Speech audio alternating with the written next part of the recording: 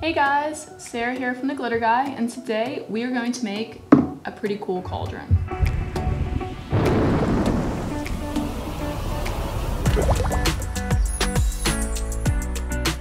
First of all, I saw this briefly on Instagram and thought, how cute does that look? And I will link that Instagram reel down below for you guys. So I kind of took it and ran with it. So this is a cauldron that has been sitting in our office closet for like two years now filled with crap. And I took it outside, painted it white first, and then painted it teal. So we're gonna try to paint this cauldron another color. I wanna do it like a teal, so I'm gonna paint it white first and hope it comes out good.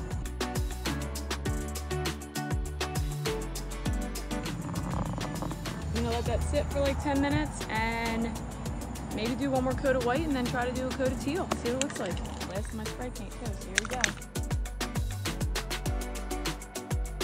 I'm gonna let this dry really good. So I'm going to now paint it teal. I'm using Mermaid from Color Shot. One thing I do love about Color Shot is it dries very fast, so I'm gonna go get a slice of pizza and come back and finish this.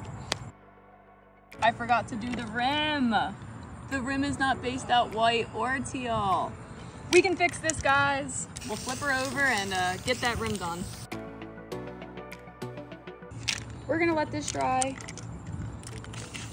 Here we are. So I wanted to fill the middle in with something so that we could put these little bubbles on the top. So I got my airbags. I thought these would work pretty perfect, so let's see. Now for the bubbles. By bubbles, I absolutely mean disco balls. I will not at all during this video pretend to take full credit for this idea. It all came from Can't Sleep in Nara on Instagram reels. These actually look pretty cool. They're not totally, the top's a little weird, but the sides look perfect. So I got this double-sided sticky tape. I'm gonna cut myself some squares. I have no idea about placement on this thing. I just want them to look like bubbles. I wonder if I stick it to it, because this is kind of hard to peel it back.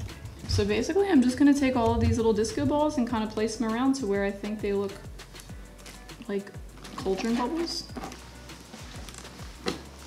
All right, get in there little disco ball. Yes, cool. Pivot. Pretty bubbly. Yeah, it's looking like little cauldron bubbles.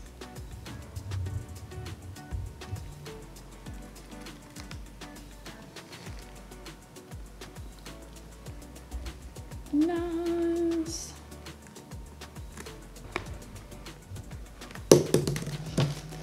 Could say, I might have to go get super glue. yep. Yeah, I think that these are just gonna keep falling off. Plot twist, guys. We're gonna find something else that's stickier than this banner material. Let's see how UV resin does. I can't even believe I didn't think about using UV resin in the first place.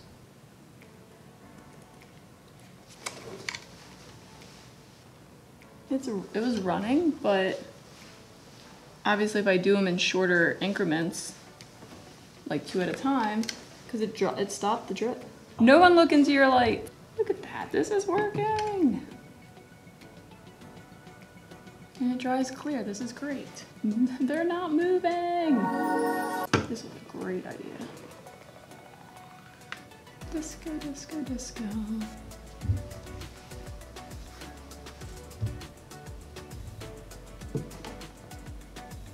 Uh, when I have to do it and it drips, it just seems to be dripping around the ball anyway, and then you put the lid on it super quick, and it catches the drip, and it's just tightening it even more around. Of course, we'll see if it completely works the way that I, it looks like it's working when it's done, but I mean, so far they're, they're not moving.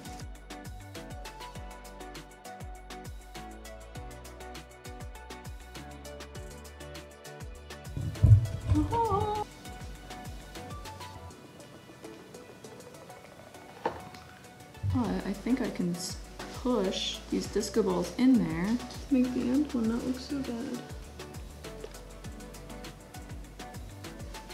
It's only a matter of time before uh, my daughter picks all of these disco balls off one by one anyway.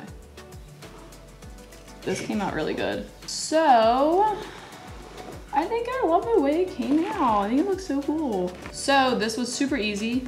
Again, I will link the actual reel that I got this idea from uh, down below so you guys can see it. But honestly, for very little direction and not really knowing what I was doing. This set came with four different sizes, so it was really easy to fill in all the little gaps because I didn't have to rely on the same size ball. The balls came from Amazon. Pretty sure I paid like 20 something dollars for the whole thing. Resin was from the glitter guy. The light is also on Amazon. You can find the light on my Linktree on my Amazon store. I'm gonna see if I can get these disco balls on there too. If not, super easy to find on Amazon. The cauldron I had, but these are super easy to find also. I painted it with uh, spray paint, Rust-Oleum white for the base, color shot mermaid for the teal. In the reel, she took stuffing and put it in the center I forgot to look at that because I knew I had some at home. However, I had air pillows here that work just as good. I am a little bit nervous about later on in life when they deflate. However, who knows if this will last that long because I'm talking over a year at that point. I hope that you guys really enjoyed this video. And if you did, definitely like and subscribe to our channel so you can see all the cool things that we put out. Drop me some comments. And if you guys make this yourself, I'd love to see how yours came out. Definitely post it in our Facebook group and tag us. And I hope you guys have a lot of fun.